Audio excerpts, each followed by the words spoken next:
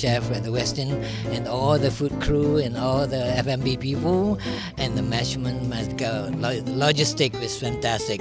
I mean, to be dining here in the restaurant called The Float, right, I would say right in the middle of the ocean, you know, and uh, fantastic ambience.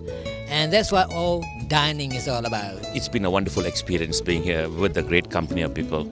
And I, I must put the credit all to. Steve Day for putting this uh, MIGF, the food festival, which has been going on for many years. And um, being a person in Langkawi, working in Langkawi, I think it's nice for an entity in Langkawi to be participating in the food festival and to bring in people from KL and uh, to come into Langkawi and to experience this. And also, uh, I'm glad that Langkawi is part of the food festival. I live in Penang, and Penang is uh, a cuisine place for you know we know for the hawker food, but I think I think time has evolved and uh, the gourmet festival should go from town to town. Yeah.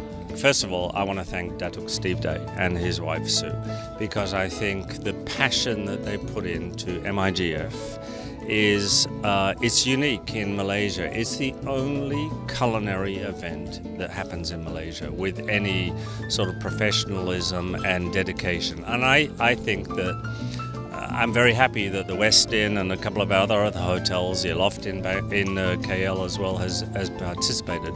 And I think it's something that we should all be in. I think it's a true expression of our commitment to food and beverage and the, the culinary scene in Malaysia.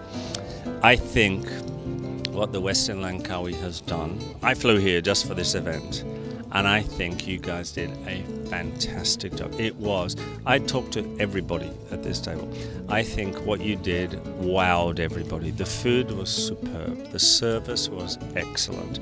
The wine pairing was stunning. It was really very good. I am very, very proud. Seriously.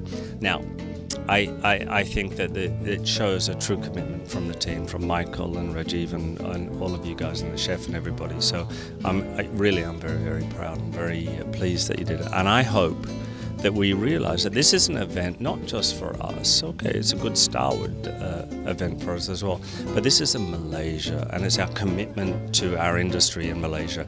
And I, I hope that more of our, our restaurants and our bars and our hotels participate as well. But you guys did fantastic job. Seriously, very good.